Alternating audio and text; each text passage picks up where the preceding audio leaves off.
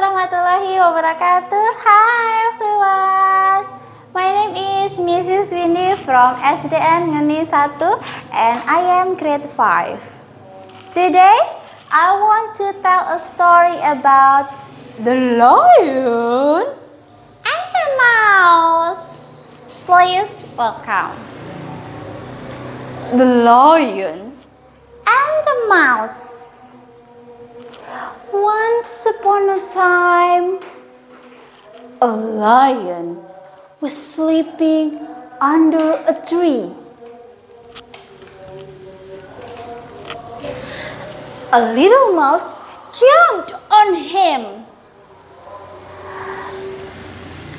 The lion woke up, picked the mouse, and wanted to eat him.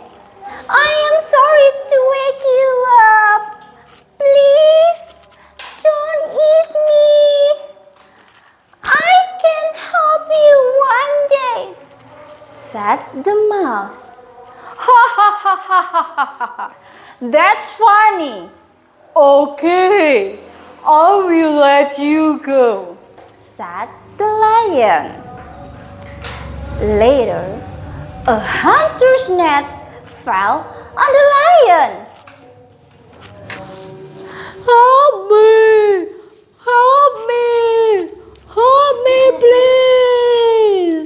The lion could not get out. The mouse saw the lion and ran to help. Wait! Wait! I will help you!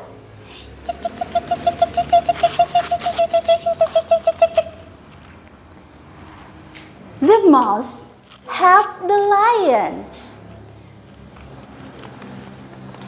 You are a little mouse, but you are a big help. Thank you, said the lion. Okay, thank you, and bye bye.